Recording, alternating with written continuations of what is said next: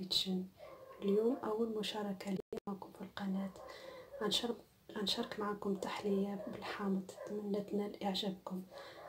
غنقدم لكم المقادير. معايا نصف لتر ديال الحليب. عصير حامضة كاملة. قشور الحامض. جوج معالق كبار ديال النشا. ربعة معالق ديال السكر. فلان فانيلا. طريقة التحضير. غادي نديرو السكر. والنشا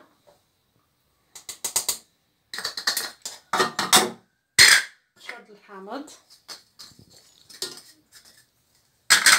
وفلان فانيلا.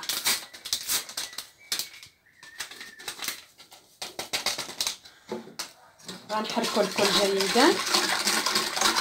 ومن بعد غنحطوهم فوق البوطة حتى يدخل الخليط. ها هو الخليط عقد معانا دابا. غنزيدو عليه.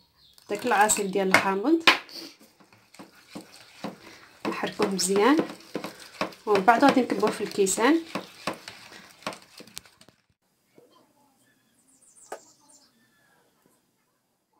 الحلية ديالنا ها هي موجودة. غادي نخليوها تدفى شوية ومن بعد ندخلوها للثلاجة باش تبرد ثلاثة السوايع.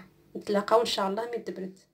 ها هي التحلية ديالنا من بعد ما بردات. أنا زينتها بشوية ديال القشور ديال الحامض ورقة ديال النعناع ونتمنى إن شاء الله تجربوها وتردوا عليا في التعليقات ديالكم وما تنساوش ديروا الإعجاب الفيديو واللي ما اشتركش في القناة إن شاء الله يشترك فيها وما تنساوش تشاركوا الفيديو مع أحبابكم واصحابكم لكي تعم الفائدة وإن شاء الله نتلاقاو في فيديو في أمان الله وحفظه.